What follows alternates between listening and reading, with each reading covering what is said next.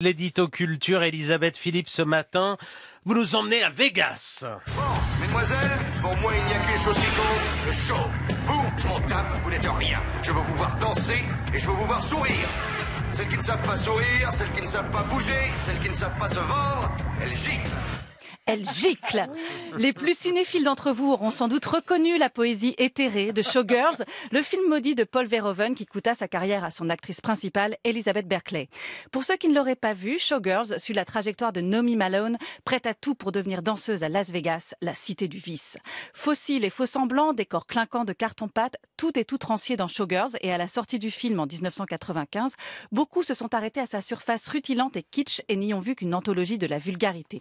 Mais au fil des années, Showgirls a fait l'objet d'une réhabilitation jusqu'à devenir culte, au point que la comédienne Marlène Saldana et son comparse Jonathan Driet en ont tiré une pièce intitulée Showgirl au singulier, car Saldana est quasiment seule sur scène pour rejouer le film de Verhoeven. Et qu'est-ce que ça donne? Ça donne un show total entre la performance, le drag, la danse et la comédie musicale. La musique est signée de la géniale Rebecca Warrior. Marlène Saldana, que pour ma part j'ai découverte ébahie dans Les Idoles de Christophe Honoré où elle jouait Jacques Demy nu sous un manteau de fourrure, c'est absolument tout faire. Un peu comme Juliette Binoche, vue par Valérie Lemercier. She acts, she dances, she sings, she cosmetics. Dans un décor constitué d'une lampe phallus et d'un volcan mamelon, la comédienne se démène avec une énergie démente.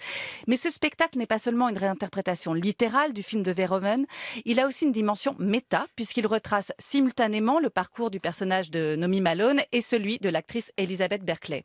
Drôle, exagérément vulgaire, ce showgirl s'avère bien plus fin qu'il en a l'air derrière ses paillettes et ses couches de fond de teint, notamment dans ce qu'il dit de la condition d'actrice.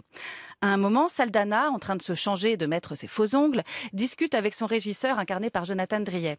Elle raconte comment, pendant le tournage, Verhoeven demandait à Elizabeth Berkeley de jouer comme dans Ivan le Terrible d'Eisenstein. Et pour une telle performance, disons, expressionniste, un homme aurait sans doute reçu un Oscar. Berkeley, elle, est tombée aux oubliettes et pour seule récompense, elle a été élue végétarienne la plus sexy de l'année en 2008. Il est aussi question de l'humiliation infligée par Bertolucci et Marlon Brando à Maria Schneider sur le tournage du dernier tango à Paris. Bref, toute cette séquence résonne évidemment avec la nouvelle vague MeToo qui semble enfin déferler dans le cinéma français depuis les déclarations de Judith Godrèche et ses plaintes déposées contre Benoît Jacot et Jacques Drillon. Doyon. Doyon. Pardon. Vendredi soir, lors de la cérémonie des Césars, Judith Godrèche, dans son discours beau et digne, a cité une réplique de Céline et Julie vont en bateau de Jacques Rivette. Et figurez-vous que Jacques Rivette, grand nom du cinéma d'auteur, fut l'un des seuls à dire du bien du film Showgirls à sa sortie. Et étrangement, ces derniers jours, des actrices comme Marianne Denicourt ou Jeanne Balibar ont tenu à rendre hommage à Jacques Rivette parce qu'il était l'un des très rares réalisateurs avec lequel elle se sentait pleinement en sécurité. Et j'aime assez toutes ces coïncidences. Showgirl 2 et avec Marlène Saldana et Jonathan Drier, c'est jusqu'au 9 mars au théâtre de la Bastille à Paris. Merci Elisabeth et à lundi prochain.